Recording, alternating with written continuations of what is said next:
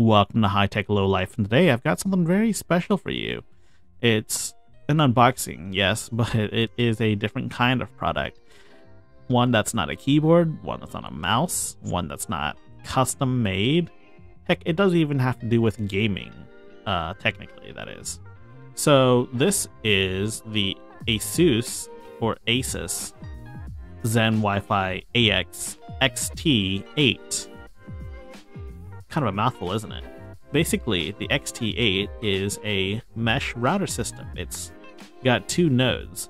One such a unit would plug in directly to your modem, and so there's not a whole lot of flexibility as to where you can put this first one. However, the second one can be put basically anywhere in the house so long as it receives signal from the other one. Or, if you're fancy like me and have your Ethernet wired throughout your house, you can just plug it in directly and then have Ethernet backhaul, which makes it way better. The unboxing experience is quite simple, really. In front of you are the two units displayed, and they're a lot smaller than you would imagine, but these things pack a punch. Each unit features four Ethernet jacks, one for the WAN and three for other LAN devices you want to connect to it. It also features a USB port in case you want to plug a hard drive to it. And it features a power switch as well. Neat.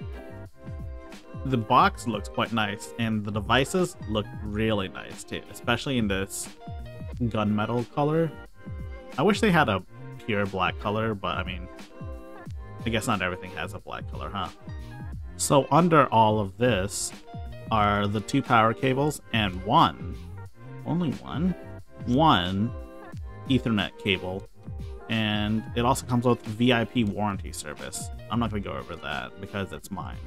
Now, for the fun part, this is my network closet. It has a whole server and also has a switch, and it also features this meh Verizon router here. You know, it's actually kind of difficult doing this with one hand, but replacing your router is as easy as plugging things in the way they're meant to be plugged in. See that? Genius. And you see this power cable goes in like that. And so the trick is you also have to flip the power switch right there. And there. It turns on. See that? Beautiful. So that goes in that little crevice, tucked in away from everything else. Setting up the router is really simple. All you have to do is follow the instructions on the screen. I'm not going to bother showing you guys every detail because why would I, right? This router features a bunch of features that I would consider basic and essential for the average user, such as the ability to set your SSID, the ability to separate 2.4 gigahertz and 5 gigahertz speeds, you have the ability to set IP addresses per device, and you can either set it through the router or set it through the devices themselves. The router supports both. It also has quite a few features that I would consider to be advanced.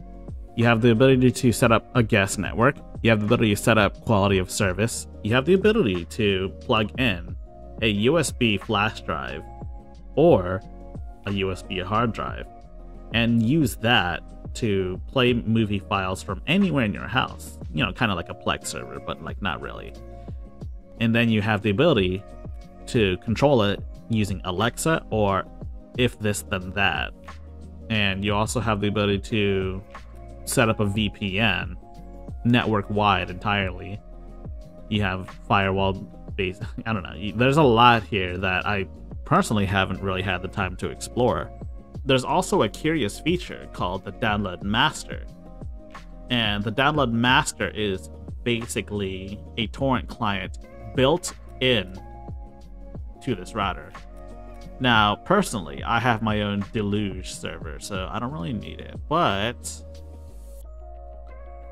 this could be useful for you. Very useful.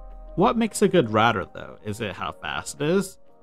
Well, partially. Yeah, you do need speeds to, you know, navigate the internet faster, watch movies, watch Netflix, all that good stuff. But the truth is that the measure of a good router isn't just the speeds, but rather the stability of the connection. And as of testing this right now, the connection has been nothing but rock steady. Personally, I've had little downtime on this router. There's very little instability with this router, if any, and I've been using it wired through my desktop that I'm editing this video on right now. I've been using my phone, which, yeah, is connected wirelessly. Oh yeah, by the way, this router supports Wi-Fi 6. So if you have a Wi-Fi 6 device, congratulations. You made it to the future. However, do be wary though that if you want to apply any settings, there will be some sort of downtime for like a few seconds. So before you apply any settings, be sure no one's doing anything important on the internet before you apply those settings. That said, if you're not a super advanced user, then by all means, get this router. It's great.